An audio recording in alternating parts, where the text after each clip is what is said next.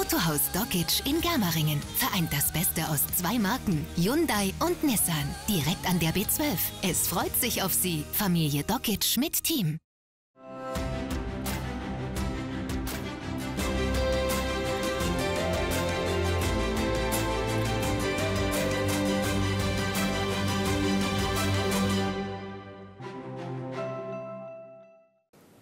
Einen schönen guten Abend mit den Allgäu TV Nachrichten. Oberstdorf freut sich über den Zuschlag für die Skiflug-WM 2026, ganz besonders nachdem die nordische Skiweltmeisterschaft im letzten Jahr ja ohne Zuschauer stattfinden musste.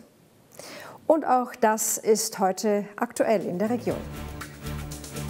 Klimawandel sorgt für Stress. Fichten blühen häufiger als früher.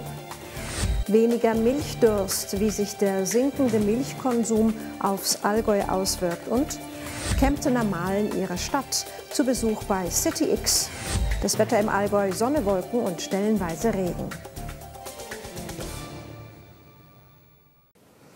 Im Allgäu gibt es mehr Kühe als Menschen. Das ist ja ein altbekanntes Gerücht. Stimmen tut es zwar nicht, doch die Kuhbestände kommen schon sehr nahe heran an die Anwohner, vor allem in Bayerns kuhstärkstem Landkreis, dem Ostallgäu.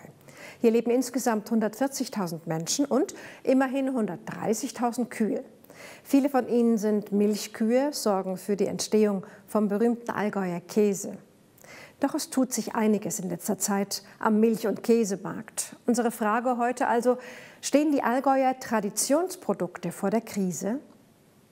Milch, das Allgäuer Traditionsprodukt schlechthin. Doch er wird weniger, der Milchdurst der Deutschen. Während wir im Durchschnitt im Jahr 2000 noch 54 Kilo Kuhmilch pro Kopf verbrauchten, waren es 2021 nur noch knapp 48 Kilogramm. Am Böcklerhof in Kempten geben 100 Milchkühe täglich etwa 2000 Liter Milch. Direkte Auswirkungen von einem geringeren Milchkonsum merkt Markus Böckler bisher noch nicht. Doch er ist darauf vorbereitet, die Produktion zu drosseln, wenn es sein muss. Ich fahre die Mengen jetzt noch nicht konkret zurück, das äh, schwankt ja auch immer wieder. Ähm weil je nach Jahr, nach Futtersituation und so weiter.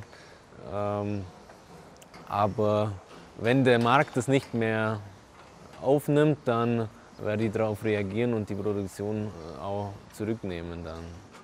Ein Grund für den nachlassenden Milchdurst könnte die Ernährungsweise der Deutschen sein. Zwei Prozent und damit mehr als anderthalb Millionen Deutsche ernähren sich inzwischen vegan, nehmen also keine Produkte tierischen Ursprungs zu sich. Wirkt sich das auch auf den Allgäuer Käse aus? Viereinhalb Millionen Liter Milch, also fast 1000 dieser Wannen, werden hier in der Bio-Schaukäserei in Wiggensbach jährlich verarbeitet zu etwa 500 Tonnen Käse. Hier ist die Produktionsmenge zuletzt sogar gestiegen. Die Mengen sind die letzten Jahre äh, immer leicht gestiegen. Wir hatten also jedes Jahr äh, leichten Zuwachs. Ähm, bis jetzt zu dieser Menge. Aber dieses Jahr wird es definitiv ähm, einen Rückgang geben. Wir werden auch etwas Milch verkaufen. Aber wie gesagt, das ist jetzt weniger der Trend eben aus der äh, aus der veganen oder der Bewegung, sondern das ist einfach hier dem, jetzt dem Markt geschuldet, dass der Verbraucher einfach deutlich zu günstigeren Produkten greift. Bei der derzeitigen angespannten wirtschaftlichen Situation würden viele eher die günstigeren Käsesorten kaufen, beispielsweise die der Eigenmarken von Discountern. Das merkt Franz Berchtold auch daran, dass die Menschen in seinem Laden öfter auch mal zu den Angeboten greifen würden. Ob die kostenteuren Zeiten den ohnehin schon sinkenden Milchdurst nochmal verringern werden, wird sich dann wohl erst nächstes Jahr zeigen. Für den Moment jedenfalls ist man besorgt, stellt sich beim Bundesverband deutscher Milchviehhalter vor allem eine Frage. Wie kann man auf rückläufige Nachfrage organisiert und wirkungsvoll äh, reagieren. Also sprich, wenn die Nachfrage zurückgeht, müssen wir auch überlegen, wie reagieren wir mit dem Angebot. Und es bringt nichts, Menge anzubieten, die niemand möchte, beziehungsweise die dann mit Dumpingmethoden in den, in den Markt gedrückt werden müssen. Eine Möglichkeit, Milch zu vertretbaren Preisen Auch bei sinkender Nachfrage zu vertreiben sei es, besser für sie zu werben. Die Menschen beispielsweise auch darauf hinzuweisen, dass die Kuhmilch in Sachen Klimabilanz nicht automatisch schlechter zu bewerten ist. Fest steht, die Milch bekommt zunehmend Konkurrenz. Wie gut sie sich gegen diese behaupten kann, werden die nächsten Jahre zeigen. In den letzten Wochen und Monaten hat vor allem eine Farbe unsere Umwelt bestimmt, Gelb. Erst war es gelber Sahara-Staub, der durch die Atmosphäre aus Afrika zu uns geweht wurde. Dann war es der Blütenstaub der Fichten, der sich auf allem, was draußen steht, niedergelassen hat. Blütenstaub ist ja zu dieser Jahreszeit an sich nichts Ungewöhnliches. Jeder Allergiker weiß das. Und doch ist der gelbe Staub auf Autos und Co. in diesem Jahr etwas Besonderes. In der Forstwirtschaft spricht man von einem Mastjahr. Was es damit auf sich hat, erklärt uns Förster Roman Prestele. Wolkenverhangen sind die Oberallgäuer Berge an diesem Vormittag. Der Natur hat der Regen gut getan und auch Allergiker können aufatmen. Heute fliegt kaum Blütenstaub durch die Luft. Im Gegensatz zu den letzten Wochen, denn die Fichten blühen. Schon wieder, kann man fast sagen. Wir haben jetzt 2022er Fichtenblüte, wir haben 20 schon eine gehabt und haben 18 eine gehabt. Und äh, normalerweise kommt das so alle ja, fünf bis sieben Jahre vor, aber in letzter Zeit ist es relativ häufig und wie gesagt, da haben wir das jetzt so im, fast im Zwei-Jahres-Rhythmus. Insofern ist es schon fast gewöhnlich worden, aber eigentlich ist es was Besonderes. Und zwar haben wir einmal einen Fichtenzweig mit äh, männlichen Blüten, also das sind hier diese Staubverursacher, ja, die werfen den Pollen ab. Man sieht das ganz gut. Die fallen jetzt dann auch im Laufe des Mai, Juni fallen die dann ab. Und die machen momentan auch die Bäume so braun. Die Bäume schimmern, wenn man in die Landschaft schaut, momentan so bräunlich. Das sind meist halt diese männlichen Blüten. Und dann gibt es dazu weibliche Blüten. Ich habe hier noch eine. Das ist jetzt dann eine weibliche Fichtenblüte. Aus der wird dann so ein Fichtenzapfen. Der ist relativ weit, also der ist jetzt befruchtet und reift jetzt aus. Man vermutet, man weiß es nicht, man vermutet, dass es mit dem Klimawandel zusammenhängt. Also dass die Bäume einfach versuchen, sich äh, zu reproduzieren und das häufiger. Und äh, man hat also noch keine Erklärung, aber man vermutet, dass es äh, mit dem Klimawandel zusammenhängt. So ein Wetter wie an diesem Tag wäre für die Bäume ideal, sagt Roman Prestele. Dann kämen sie mit dem Energiebedarf der Blüte gut klar. Ganz anders sehe das bei einem trockenen Sommer aus. Heißer Sommer wäre schlecht für die Bäume, weil einfach dann weniger Wasser zur Verfügung steht, die Bäume sehr stark transpirieren und dann, wie gesagt, für den Fruchtansatz sehr viel Energie brauchen und das schwächt die Bäume natürlich. Und damit sind sie natürlich anfälliger gegen Schadorganismen, also speziell jetzt den Borkenkäfer bei der Fichte zum Beispiel. Es fruktifizieren ja auch andere Bäume. Auch die Eiche fruktifiziert sehr stark, auch der Ahorn ist sehr stark, also es sind auch die anderen Baumarten. Die Tanne ist auch dabei. Also es ist nur nicht nur die Fichte, äh, die so stark blüht, sondern auch andere Baumarten. Aber bei der Fichte ist halt bei uns so dramatisch äh, mit diesem extremen Pollenflug. Milliarden Fruchtstände haben in den letzten Wochen für den vielen Blütenstaub gesorgt. Und die Fichtenblüte ist nicht nur etwas Besonderes, die Förster haben dafür sogar eine eigene Bezeichnung. Ja, das Mastjahr ist ein historischer Begriff, der kommt aus dem Mittelalter mehr oder weniger. Den verwenden wir in der Forstwirtschaft. Und zwar geht es darum, dass früher die Bauern äh, die Schweine vorwiegend in den Wald getrieben haben und die haben dort Eicheln und Bucheckeln gefressen. Und das hat es natürlich nicht jedes Jahr gleich gegeben. Und in einem Mastjahr, wenn es sehr viele Bucheneckerl und Eicheln gegeben hat, dann hat man die Schweine halt gut mästen können. Und daher der Begriff Mast. Und der gilt natürlich heute in der Forstwirtschaft Landwirtschaft auch noch, wenn die Bäume sehr stark fruktifizieren, sehr stark blühen, sehr viel Samen hervorbringen, dann sprechen wir in der Forstwirtschaft von einem sogenannten Mastjahr.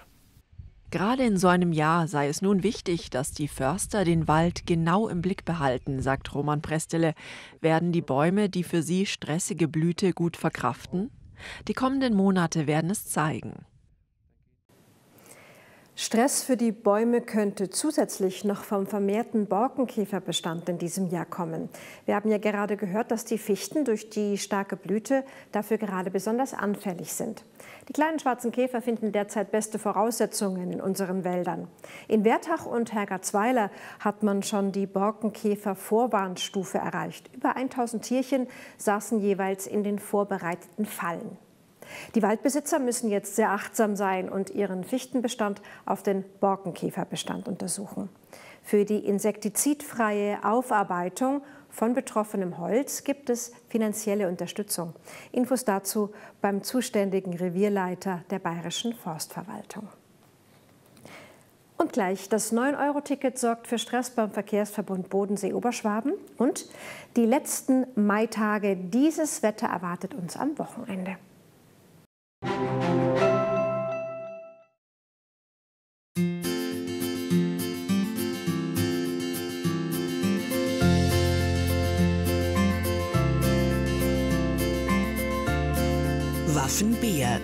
Das Haus der Jagd und Tracht in Kempten. Traditionell, innovativ und nachhaltig. Seit über 60 Jahren. Bei uns bekommen Sie professionelle Kundenbetreuung und alle Dienstleistungen rund um das Thema Mobilität aus einer Hand. Reisacher, ein gutes Gefühl. Was ist das Beste, was passieren kann? Finde es heraus. Lotto spielen bei Lotto Bayern.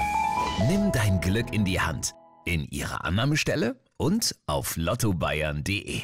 Wir suchen Verstärkung. Wir suchen Sie. Werden Sie Teil unseres Mediaberaterteams im Rundfunkhaus in Kempten. Wir planen und helfen bei der Umsetzung von TV, Radio und Internetwerbekampagnen für unsere Bestandskunden und überzeugen neue Kunden von unseren Leistungen. Dabei treffen Sie Kunden vor Ort, nehmen im Homeoffice an Telemeetings teil und arbeiten in unseren Büros in Kempten. Wir bieten einen sicheren Arbeitsplatz sowie eine interessante, leistungsgerechte Vergütung. Neugierig gemacht? Dann bewerben Sie sich jetzt im Rundfunkhaus in Kempten.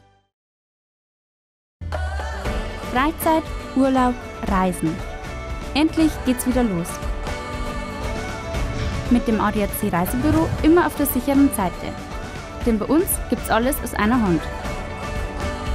Wir sind gerne für Sie da. 18.0 in Südbayern.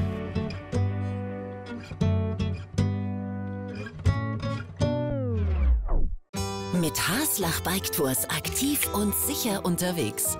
Mehr sehen, mehr erleben, mehr genießen. Lassen Sie sich von unseren aktuellen Angeboten inspirieren auf haslach-biketours.de.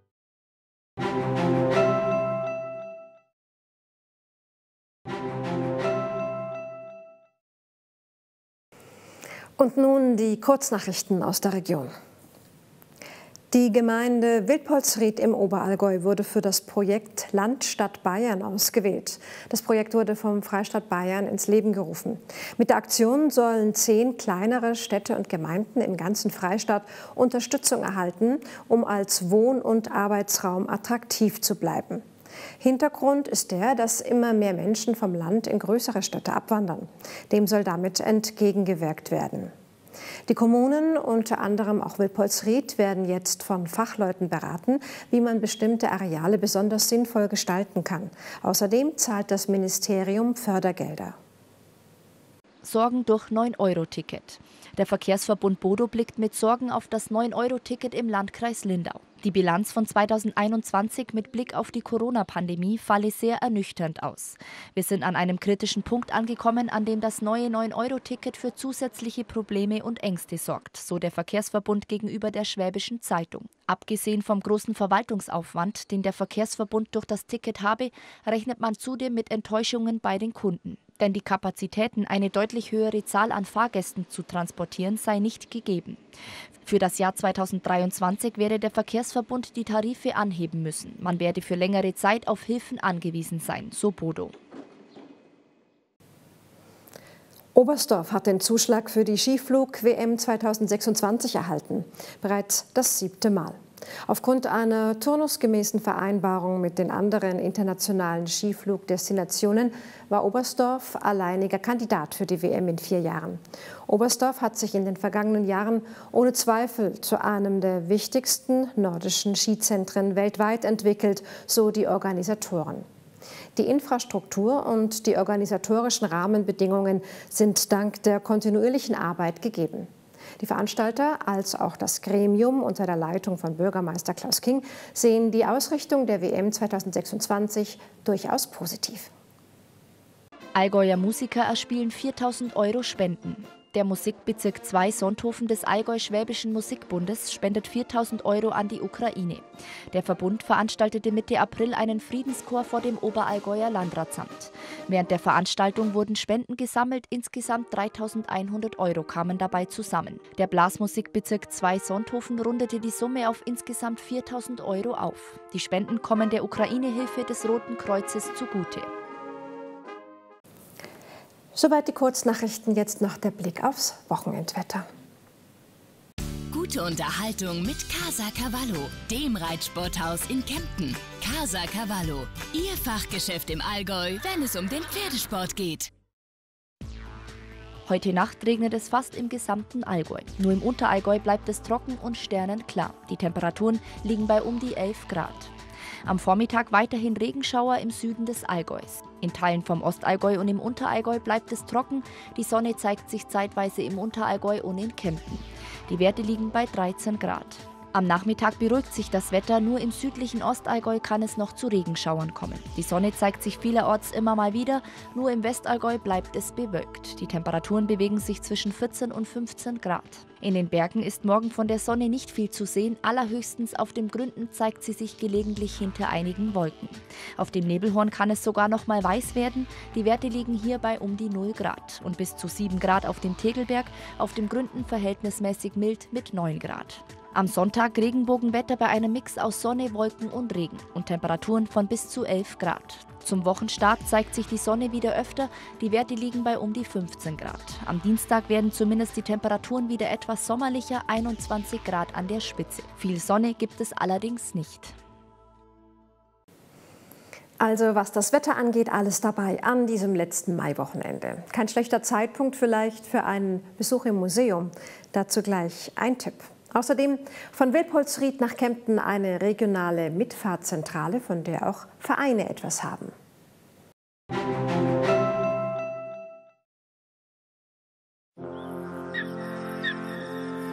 Gut geht's uns schon, uns Allgäuer.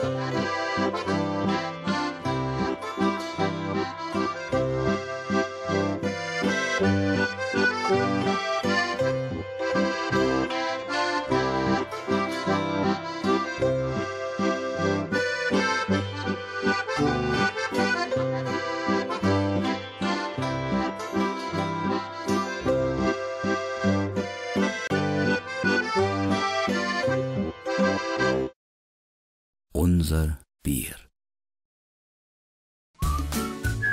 Was ist das Beste, was passieren kann?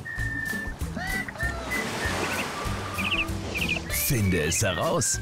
Lotto spielen bei Lotto Bayern. Nimm dein Glück in die Hand. In ihrer Annahmestelle und auf lottobayern.de. Ein Leben ohne Handy, fernab von allen Menschen. Können Sie sich das vorstellen? Die Journalistin Anna Parschan hat für uns einen Selbstversuch gewagt und sich in die Einsiedelei auf einem Kloster zurückgezogen. Welche Erfahrungen sie dabei gemacht hat, sehen Sie kommenden Samstag um 17.45 Uhr auf RTL.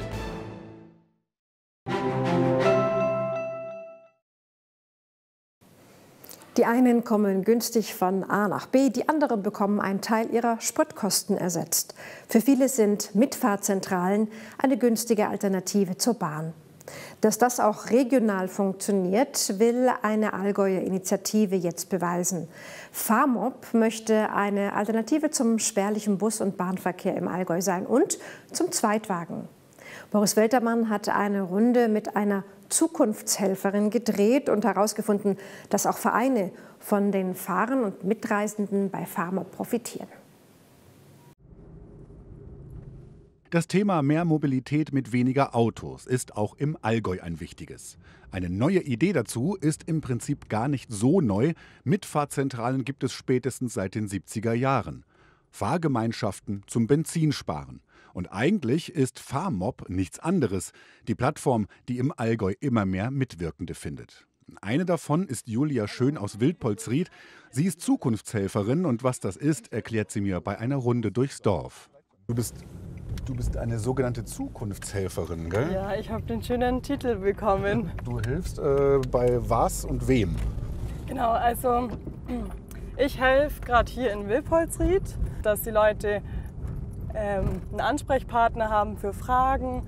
Ähm, ich versuche so ein bisschen die Schnittstelle so darzustellen, auch zu den anderen Vereinen, äh, zu den Vereinen und den anderen Gemeinden. Genau, FarmOb genau. ist eine, quasi eine Mitfahrzentrale, kann man das so sagen? Genau, es ist eine Mitfahrzentrale und das Besondere daran ist eben, ähm, es ist speziell für unsere Region gedacht, mhm. ähm, weil die bisherigen Mitfahrplattformen sind eigentlich, also da guckt man drauf, wenn man längere Strecken fahren will. Genau, das ist eher so überregional, ne? genau. ne? wenn man nach Berlin muss oder sowas. Ja, ja leider ja, das Bussystem noch nicht ganz so weit.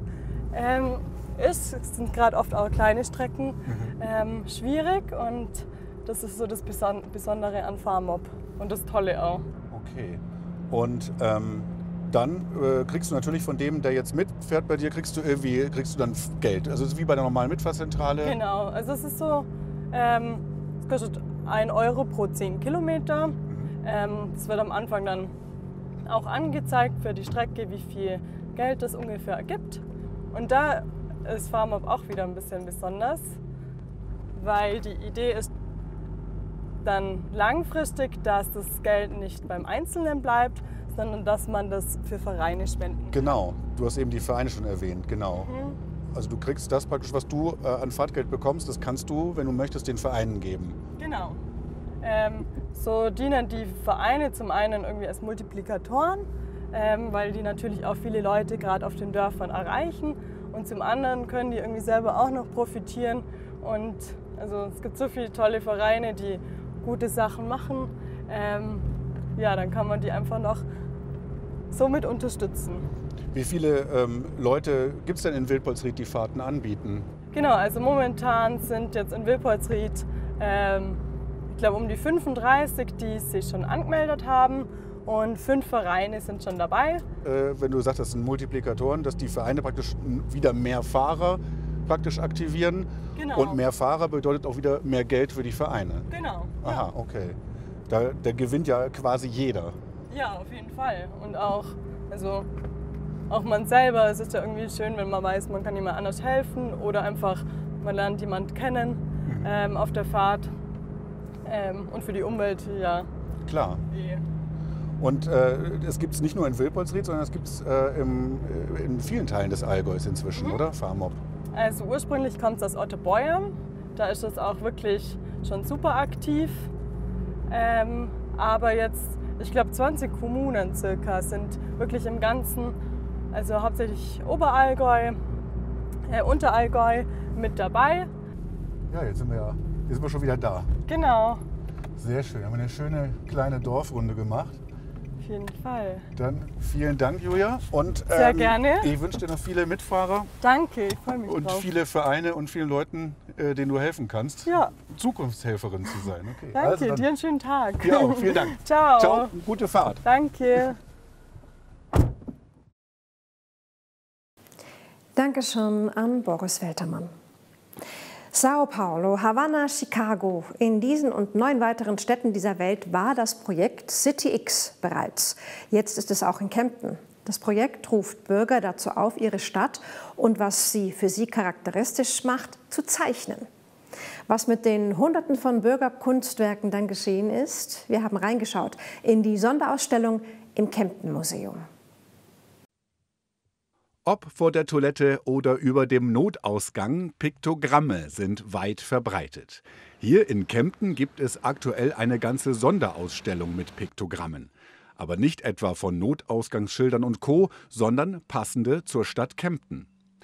Die Künstlerin dahinter ist Doris Graf. Im Rahmen des Projekts hat sie Kemptner dazu aufgerufen, ihre Stadt in einer Zeichnung darzustellen. Dazu war sie auch in der Kemptner Innenstadt unterwegs und hat Menschen zum Zeichnen angeregt. Viele seien zunächst unsicher gewesen.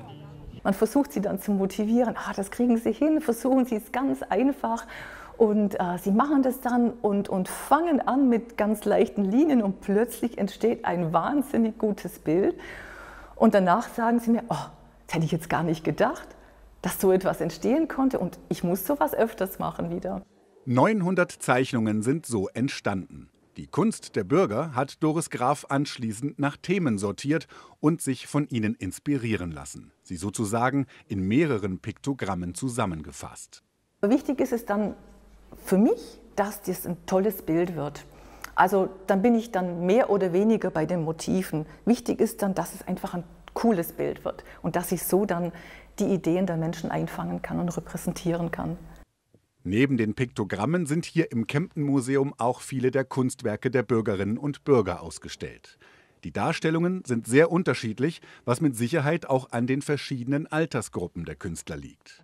Für die Jugendlichen gibt es ein eigenes Piktogramm. Und da habe ich so diese, diese Darstellung die ihrer die Freizeitnutzung bekommen, die sportlichen ähm, Aktivitäten wie Fußball, wie Handball oder natürlich die Skater haben gezeichnet. Und überhaupt sich mit Freunden zu treffen, ist den, den jungen Menschen natürlich auch sehr wichtig in der Stadt. Das habe ich hier auch dargestellt mit einem Bubble Tea in der Hand. Die Stuttgarter Künstlerin hat ihr Projekt bereits in mehreren Städten durchgeführt. Die Kemptner aber haben sie überrascht, denn sie haben auch die Umgebung und typische Allgäuer Symbole gezeichnet. Diese sind im Piktogramm drumherum zusammengefasst. Weitere Piktogramme gibt es zur Geschichte, der Basilika und der Iller. Auch die Allgäuer Festwoche, der Park und die Lebensart sind dargestellt. Allerdings haben die Kempner nicht nur die positiven Seiten ihrer Stadt gezeichnet, das Werk Kritik zeigt, was Kempnerinnen und Kempnern an ihrer Stadt fehlt oder was sie nicht mögen. Mehr hätten zum Beispiel, sie hätten gerne mehr Möglichkeiten oder bessere Wege für die Fahrräder, mehr Parkplätze mehr Blumen, mehr Bäume. Und ähm, historische Bauten finden Sie auch, dass man ähm, bewahren sollte. Und was Sie gar nicht mögen, ist natürlich die verschmutzte Stadt. Autos, die die Stadt verschmutzen und verpesten oder überhaupt Gewalt. Dann auch hier die Hochhäuser, die möchten Sie nicht so gern, also diese monotonen Bauten und Baustellen. Das stört Sie. Das Projekt ist in Kempten bereits 2021 gestartet und wurde von Anfang an vom Kempten Museum unterstützt.